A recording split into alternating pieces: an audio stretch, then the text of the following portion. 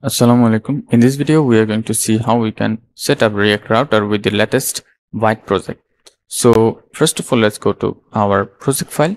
Here we have our Vite project setup and I have one main um, component here, which is going to contain all of the other child components.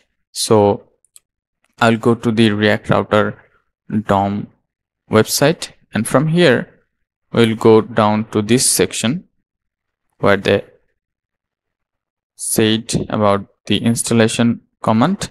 So i will pick up only this one because we don't need these packages right now. So npm install react.dom so i will go to my terminal. Then uh, i'm going to install my react.dom we have to configure some items to work it properly uh, in multi-pages. So I have created all of the multi-pages. Let me show you what I have created so far. So uh, you can see I have a source folder here and there I have uh, pages and inside the pages I have home, login. I have a totally different uh, JSX file for the routes. So I will use this file to maintain all my routes. So according to this documentation here, uh, I will just go ahead and uh, have to create the router first. So they told that we need to create it on main.jsx, but I will create it on the routes.jsx.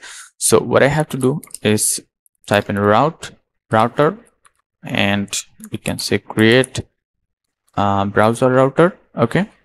So after that we can add an array. It will be an array of objects. And then we'll have to define the path. After that you can see here we'll have to define a path. And path should be this one. And here the element should be um, main. So i will just import the main one. And as you can see it has been imported already. And here you will see more details. So here we can see children. Children here. And it will be another sorry we have to give a comma. Another array of objects. So this array of objects will contain other children pages like login, register, or so on. So here we will define the path as let's say we'll say home. And then after that element should be home. And this is it. So what do we have to do to configure it? We have to um, export this router here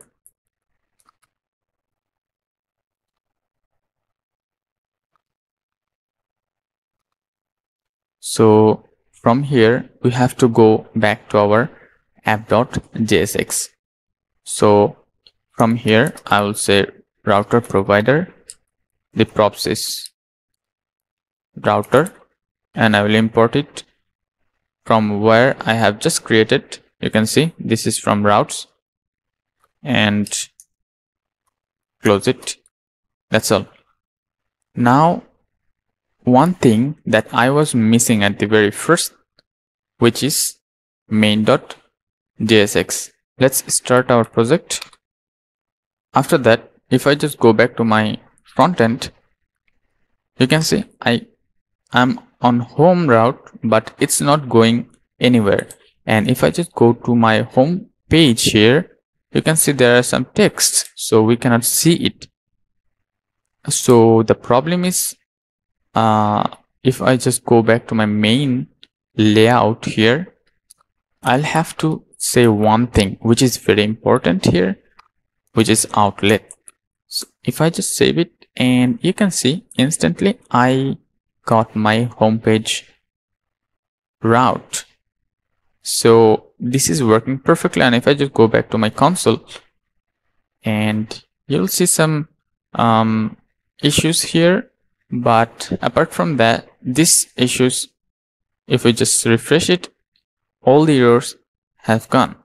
So this is working perfectly. So this is how you can set up multi-page routes with react router's latest 6.4 version. That's all for now